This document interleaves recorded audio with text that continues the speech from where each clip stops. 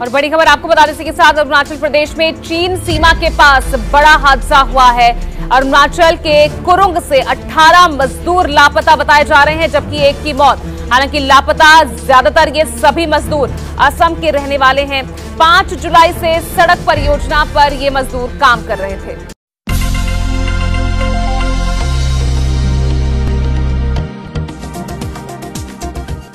नमस्कार, मैं मोहम्मद फैसल और आप देख रहे हैं जनहित आवाज़। मोदी जी का दुनिया भर में डंका बज रहा है। पड़ोसी मुल्क थर थर काँप रहे हैं। पाकिस्तान, बांग्लादेश, नेपाल, चाइना, सब लोग थर थर काँप रहे हैं। लेकिन आज जो मैं खबर आपके लिए लाया हूँ, वो आपके रोंगटे खड़े कर देगी। जी हाँ किस तरीके से छप्पन इंच के लाल आग दिखाने वाले प्रधानमंत्री जी के रहते हुए बॉर्डर से 18 मजदूर लापता हैं। चाइना बॉर्डर से, जी हाँ आप अंदाज़ा लगाइए कि जो लोग संसद में कहते थे कि ना हमारे बॉर्डर पर, हमारी सीमा पर ना कोई घुसा है, ना घुसेगा।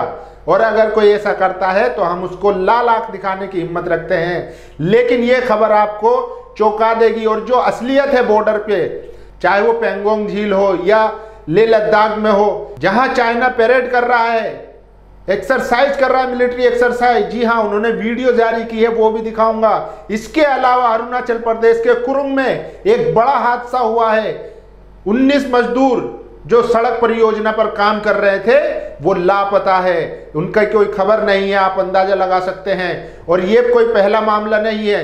तमाम बड़े बड़े मीडिया हाउसेज ने, यहाँ तक कि अमेरिका ने भी कहा था कि जिस तरीके से लद्दाख में अरुणाचल प्रदेश में चाइना अपने गाँव बसा रहा है वो भारत की सीमाओं के लिए खतरा है। लेकिन हमारे देश के प्रधानमंत्री कहते हैं कि सब चंगा है। हमारी सीमा में ना कोई घुसा है, ना घुसेगा।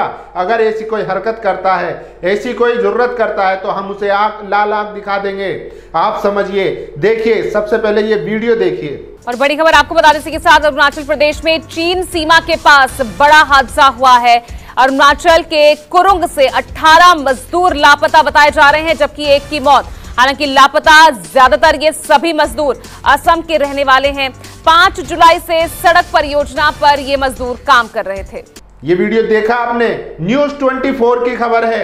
आप देख सकते हैं कि 19 मजदूर जिसमें एक की मौत हो चुकी है, अभी उसकी पुष्टि नहीं हुई है कि वो उन्हीं मजदूरों में से था या कोई अलग है। इसकी पुष्टि जारी है, लेकिन 18 मजदूर जो अभी भी लापता है 5 जुलाई को लापता हुए थे ये लोग। अभी तक इसकी कोई खबर नहीं आई है और आज खबर बाहर निकल कर आ रही है कि किस तरीके से जो भारत के मजदूर थे, वो जब बीआरओ के प्रोजेक्ट पर काम कर रहे थे बॉर्डर रोड ऑर्गेनाइजेशन के प्रोजेक्ट पर काम कर रहे थे तो वो अचानक लापता हो जाते हैं।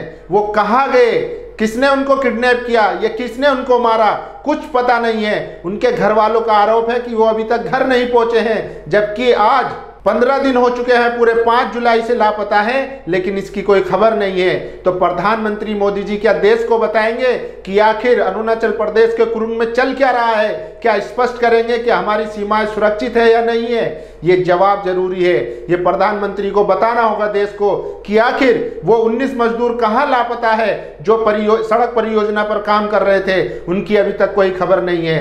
तो ये सारी चीज़ें समझनी होगी। और अब दूसरी वीडियो जो आपको चौंका देगी वीडियो नहीं दिखा सकते, आप स्क्रीन देखिए, ये पेंगोंग झील है, जहाँ पर चाइनीज़ मिलिट्री एक्सरसाइज कर रही है। हमारे देश के प्रधानमंत्री कहते थे कि चाय हमारी सीमा पे ना कोई घुसा है, ना घुसेगा।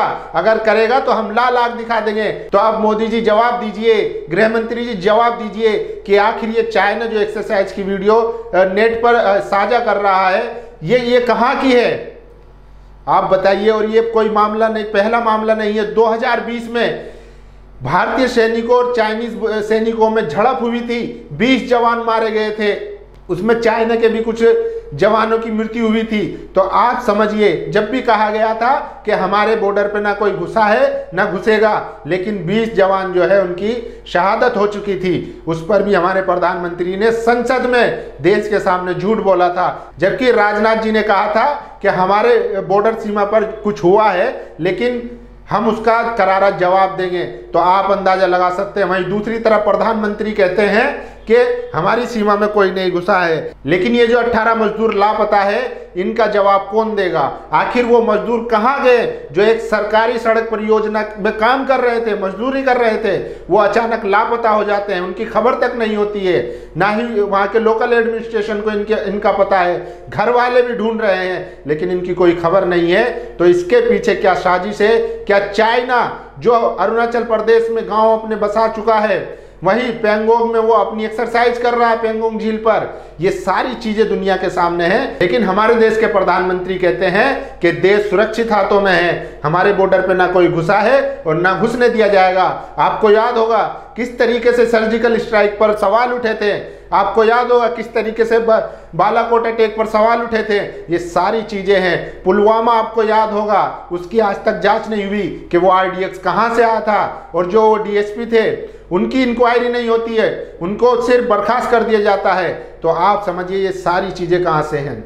वहीं दूसरी तरफ़ अमेरिका के जो डिफेंस मिनिस्टर हैं, वो भारत को चेता रहे हैं कि आपकी सीमाओं के पास चाइना कुछ बना रहा है, कुछ हरकत कर रहा है। आपके लिए बहुत खतरनाक साबित हो सकता है, बहुत घातक हो सकता है। लेकिन हमारे देश के प्रधानमंत्री और रक्षा मंत्री इन सब चीज़ों को नकार देते हैं। आखिर क्या वजह है? पाकिस्तान को लाल आग दिखाने वाले, चाइना को लाल आग क्यों नहीं दिखाते? श्रीलंका, नेपाल को लाल आग दिखाने वाले, चाइना को लाल आग क्यों नहीं दिखाते? अपने देश के नागरिकों पर अत्याचार करने वाले बुलडोजर चलाने वाले चाइना को ला ला क्यों नहीं दिखाते हैं? आज 19 मजदूर लापता है। आप सोचिएगा, अगर अभी भी नहीं जागे, हो सकता है आने वाले टाइम में भारत को भारी नुकसान उठाना पड़े। इसलिए प्रधानमंत्री जी, समय रहते जाग जाइए, समय रहते कुछ एक्शन लीजिए। नहीं तो हो सकता है कि लद्दाख में चाइना कब्जा कर ले, अरुणाचल प्रदेश भारत के हाथ से चला जाए। ये सारे सवाल हैं। आप समझिए, जिस तरीके से 19 मजदूर लापता है, वो चिंता का विषय है। आखिर वो कहाँ गए? और उसी एरिया में अरुणाचल प्रदेश के आसपास कहा जा रहा है। तमाम रिपोर्ट्स बता रही हैं कि चाइना वहाँ पर अपने गाँव बसा चुकी है। तो ये बहुत ही बड़ा विषय है, चिंता का विषय है कि आखिर वो 19 मजदूर कहाँ गए। क्या चाइना आर्मी ने उनको उठा लिया? क्या उनकी हत्या कर दी गई है? जिस तरीके से एक वहाँ पर शव मिला है, उसकी पुष्टि की जा रही है, क्या वो शव जो मिला है, वो उन मजदूरों में से किसी का है या कोई अन्य है? तो ये बहुत ही भयानक खबर है, जिस तरीके से चाइना हमारे देश की सीमाओं में घुसपैठ कर रहा है। वहीं दूसरी तरफ़ ये जो स्क्रीनशॉट आप देख रहे हैं, ये चाइनीज़ आर्मी की एक्सरसाइज है, जो पेंकोंग झील पर कर रही है। मैं नहीं कह रहा हूँ, बड़े पत्रकार रणविजय सिंह ने ट्वीट किया है। ये देखिए, इसके अलावा ऋषि कुमार, जो रशियन चैनल में एक बड़े जर्नलिस्ट है, उन्होंने ट्वीट किया ये वीडियो। देखिए किस तरीके से। चीन अपनी हरकतों से बाज नहीं आ रहा है। पेंगोंग झील के पास चीनी सेना, सैन्य अभ्यास कर रही है वीडियो सामने आया है।